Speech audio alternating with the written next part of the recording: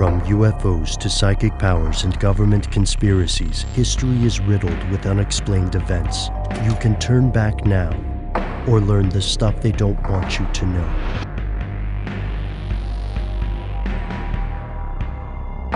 Here are the facts. Humanity has entered the dawn of a new age. Nuclear power plants, the majority of which use uranium, supply over 5% of the world's energy and over 10% of its electricity. In theory, nuclear power is a world changing energy source, and as proponents at the IAEA have argued, the only feasible alternative to fossil fuels. In practice, however, it has devastating risks. From Fukushima to Chernobyl and Three Mile Island, malfunctions at nuclear power plants can poison surrounding areas for centuries. But, argue scientists in India, China, and elsewhere, it doesn't have to be this way. Nuclear power plants can also run on an element called thorium. Thorium is easier to find, produces less waste, and creates less radiation. So, why aren't we using it? Here's where it gets crazy. For decades, theorists, pundits, and scientists have argued for the use of thorium as a power source, and though their cause has made some progress, the uranium fuel source still dominates the market. Why? At first glance, the situation seems anomalous. After all, thorium is approximately three times more abundant than uranium. To the average person, it may sound incredible that humanity didn't start with thorium in the first place. But the big question is this since it's true that thorium does have advantages, is it possible that some organizations have purposely suppressed the technology?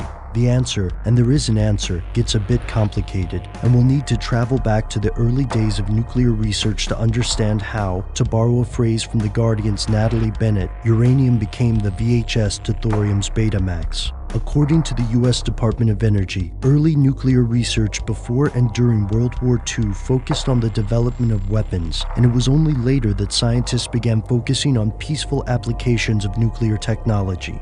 Consider that the first atomic bomb was tested in 1945, but the first investigation of peaceful atomic energy did not begin until 1947. Since the original focus of the US research was on military applications, uranium became the superior choice. As Forbes writer Marin Katusa points out, uranium's reaction process generates plutonium 239, which can be weaponized. Thorium, despite its potential advantages, does not. Experts at Oak Ridge National Laboratory in Oak Ridge, Tennessee had already built a thorium reactor by the 1960s, and it was shut down under the Nixon presidency not because it didn't work, but because it didn't produce plutonium.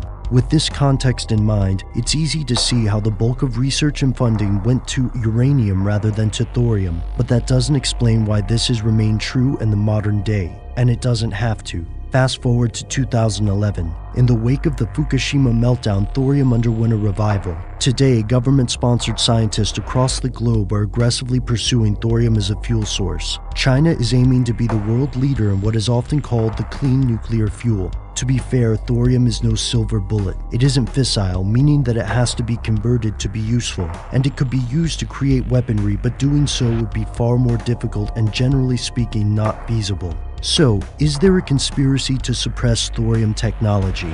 Not an overarching one, at least not at this point. If anything, many enthusiasts, including some government leaders, see thorium as the wave of the nuclear future. Determining the usefulness of thorium will require intense research and an enormous amount of funding. And let's not forget that as journalist Ambrose Evans Pritchard notes, established companies in the nuclear industry may well have a vested interest in blocking thorium due to their billions of dollars in sunk costs and their possible influence on government officials. Yet for countries such as India, China, and Russia, creating commercially viable thorium technology could change the nature of the energy race and international relations. Whether they succeed is most likely going to hinge on scientific concerns, but when the US was pioneering the field of nuclear research, thorium just wasn't dangerous enough. Why didn't the US push for thorium in the post Cold War? Was there someone else intervening, such as established conglomerations of big oil or other power industries? If that's the case, then there's something they don't want you to know about thorium.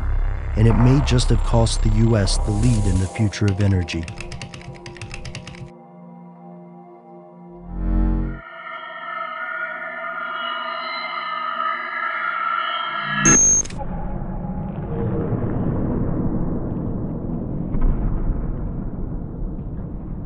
Through nuclear energy explorations, man will continue to learn more about this new source of energy and to apply it to an ever broadening horizon. At the same time, the health and safety of people everywhere will be assured by a continuing realistic radiation surveillance program. Our future generations deserve a heritage of greater freedom from want and care and confidence that nuclear energy will contribute to the establishment of universal peace.